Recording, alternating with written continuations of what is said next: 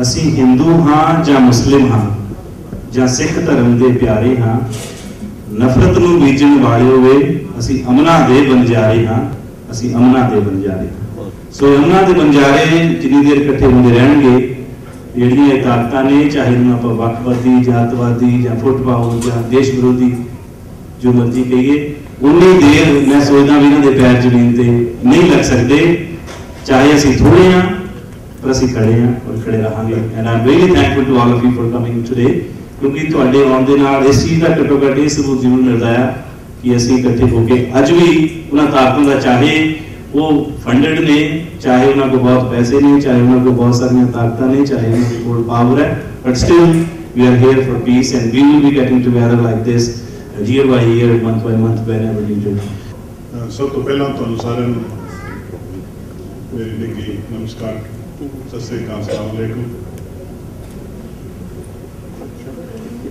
And today we are here once again to condemn,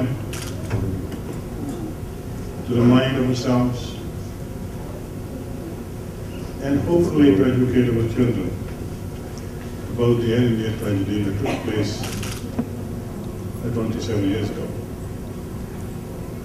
That took lives of 331 people, innocent people. It's very hard for me to imagine that what was going on in, in the minds of those people, and they never thought for a second that their action is going to take away the lives of 300 331 people.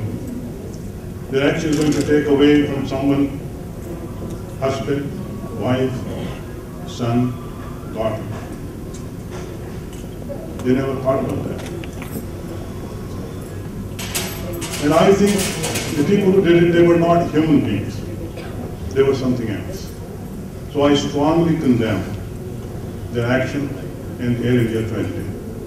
And I also want to convey my sincere sympathies to the families of Air India.